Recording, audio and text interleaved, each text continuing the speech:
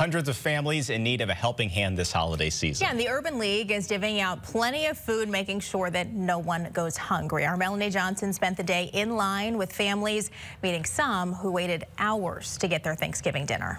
I've been in line since 4 o'clock this morning. Is a wait Christopher Holland has been in line for eight hours, all to make sure the people he loves will have a Thanksgiving dinner. Get some food for my family to feed my family, because food is hard nowadays. He is one of 700 families the Urban League will feed in St. Louis through its annual free turkey giveaway with Schnucks. Between the turkey, the box, the soda, anything else that we've been able to give at different locations, it's about $100 per person. The line stretched down Martin Luther King Boulevard for miles Tuesday. If I don't help change my community, who will? You know what I'm saying? We can sit here and wait for help, but it's like we have to be a part of the change. A cause bringing retired NFL player Lawrence Maroney home for the holidays alongside volunteers like Reginald Slaughter. I've been volunteering uh, for over 20 years with the Urban League. The Urban League tells me that they have given away at least 3,000 meals stretching from East St. Louis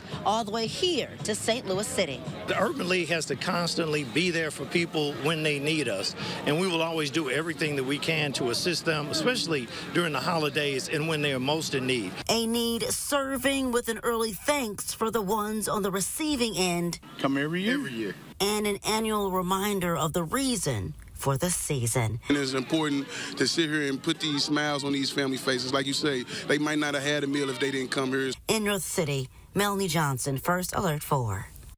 The Urban League has been dropping off Thanksgiving meals in North County, the Metro East, and to local senior citizens. CEO Michael McMillan tells First Alert 4 it costs about $100,000 to put this event on each year.